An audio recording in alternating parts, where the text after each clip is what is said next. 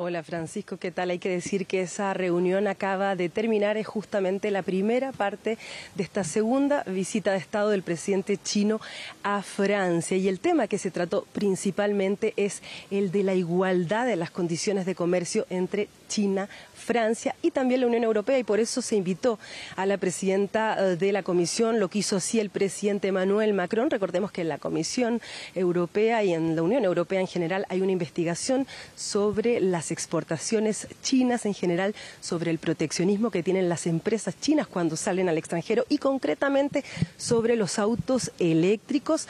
Es por eso que se está llevando a cabo una investigación y es justamente eso lo que quiere Francia y Europa, que China compita en igualdad de condiciones. El presidente Macron había dicho además que quería que China instalara aquí en Francia sus empresas, que produzca aquí, que genere también riqueza aquí en Europa. Como respuesta a la investigación ah, de Europa, recordemos, China encargó una investigación sobre las bebidas espirituosas, sobre todo el coñac francés, para ver también si ellos compiten en condiciones de igualdad. Ese ha sido entonces el principal tema de esta mañana. Erika, la guerra en Ucrania y el apoyo de Beijing a Moscú también es uno de los temas relevantes de esta visita, ¿verdad?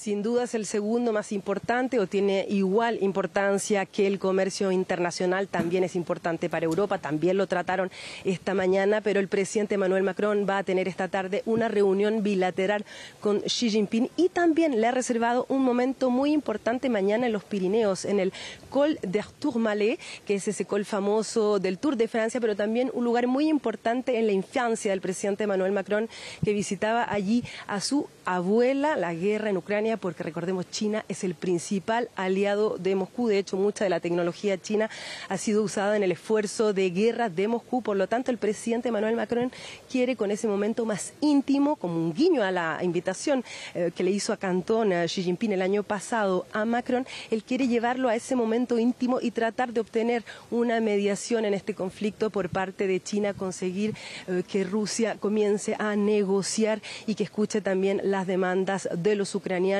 los analistas son escépticos, no saben si le va a funcionar o no esa estrategia, pero el presidente considera que tiene que tomar esa bandera. Hay otros temas también, como los derechos humanos, obviamente. Ayer manifestaban en París los tibetanos, también la ecología. China es muy importante en la eh, transición energética. En fin, una agenda muy importante, pero sin duda esos dos son los principales temas que van a tratar durante estos dos días.